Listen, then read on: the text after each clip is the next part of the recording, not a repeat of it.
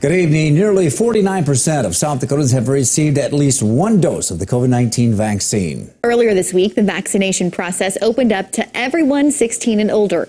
Now, there's also a push to make sure another group gets their shot. That's the state's ag producers. On the night beat, KELOLAND's Dan Santella talks with a few area farmers as well as the president of Farmers Union about the push for vaccinations. Good evening, Dan.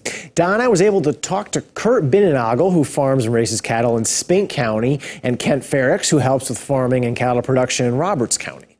The South Dakota Farmers Union is turning to Facebook to share why people in the ag industry got the vaccine. Uh, I said, well, I sure would be glad to try to encourage anyone that uh, would listen, you know, to try to, you know, get vaccinated. If uh, me giving my opinion and and uh, view on this will help and help people say, yeah, maybe maybe I should take the vaccine, or maybe I should recommend to someone else to take the vaccine. Uh, I thought it was a good way to uh, um, share that information with others. Doug, why did the Farmers Union make these posts?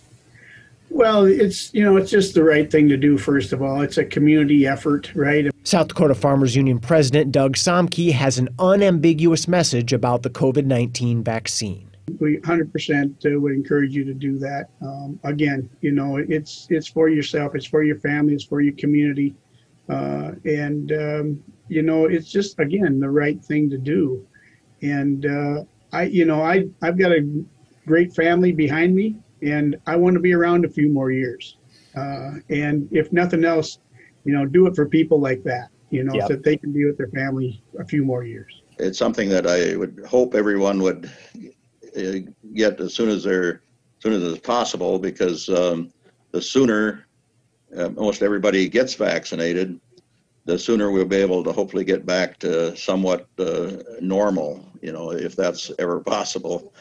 We will make sure to include a link to the South Dakota Farmers Union's Facebook page in this report on KELOLAND.com.